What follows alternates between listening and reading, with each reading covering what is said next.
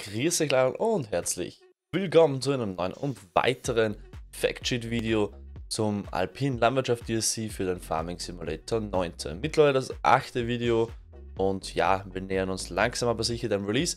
Heute habe ich wieder vier Stück Factories mit am Start und ja, haltet euch fest, ihr konntet es am Titel schon lesen, es ist wieder Höttinger am Start.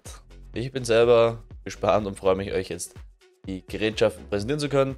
Bleibt auf alle Fälle dran, wenn ihr neu seid, gerne unten abonnieren, Glocke aktivieren nicht vergessen wenn euch das Video gefällt, Daumen nach oben würde mich sehr, sehr freuen. Ich würde sagen, los geht's. Der erste Factsheet heute ist etwas kleineres aus der Kategorie Traktor der Bührer 6105 zu einem Preis von 39.000 Euro. Äh, okay.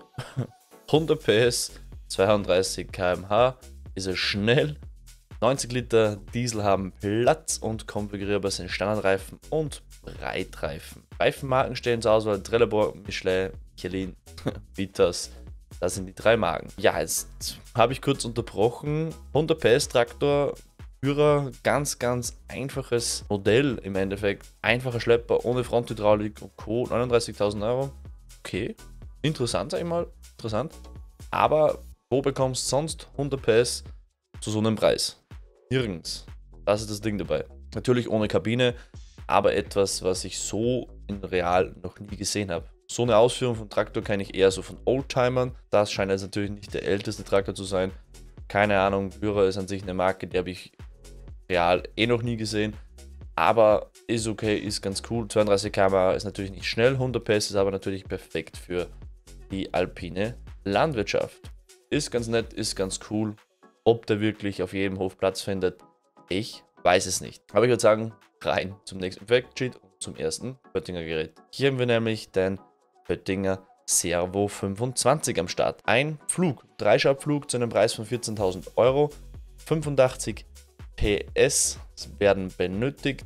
12 km/h sind die Arbeitsgeschwindigkeit, 1,2 Meter Arbeitsbreite und passend dazu ein 650 Kilo Gewicht wird hier vorgeschlagen. Kann man nicht viel zu sagen, außer was mir auffällt, hat Giants ein bisschen, wie soll ich sagen, Gebete erhört und die Bilder aus einem anderen Winkel gemacht.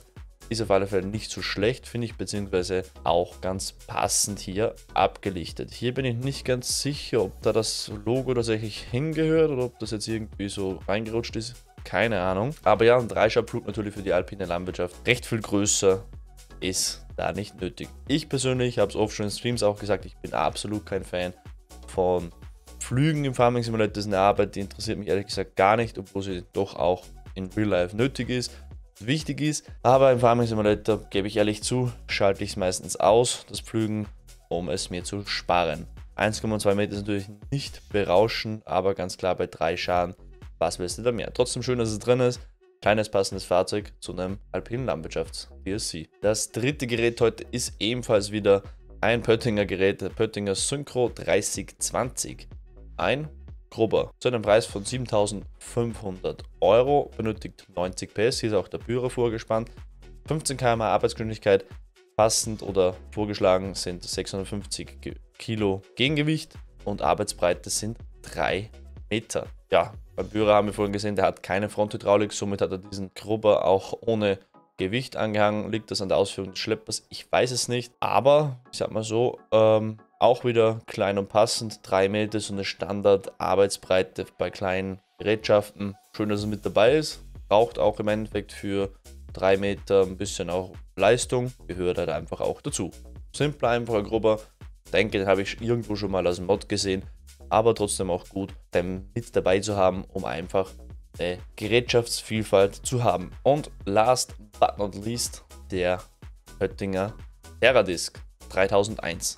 Auch ein grober, aber es hat eher eine Scheibenecke, kostet 16.000 Euro. Benötigt 95 PS, 17 km Arbeitsgeschwindigkeit, kann man etwas schneller fahren, weil man halt auch keine so tiefe Arbeitstiefe hat. Würde ich jetzt mal stark behaupten. Eine Scheibenecke gibt es ja diese Kategorie hat auch 3 Meter in der Arbeitsbreite und vorgeschlagen werden 1000 Kilo als Ballast vorne. Ist hier das sympathische Gerät in meinen Augen, gefällt mir ganz gut. Aber was ist euer Favorit in diesem Factsheet Freitag? Schreibt es mir gerne unten in die Kommentare, würde mich interessieren. Kurz und knackig, wir sind schon wieder durch. Eigentlich über der Zeit viel zu viel gelabert. Schreibt es einfach in die Kommentare. Ich bin gespannt und freue mich schon langsam auf den Release. Wieder Zeit. Acht Factsheet-Videos haben wir jetzt mittlerweile schon durch. Kommt dann noch mehr Pöttinger. Man müsste natürlich abgleichen mit der Homepage. Da sind alle Fahrzeuge schon gelistet. Und ich würde sagen, man sieht sich in den Kommentaren im nächsten Video. Ich wünsche euch ein schönes Wochenende. Haut rein, tschüss, ciao und bye bye.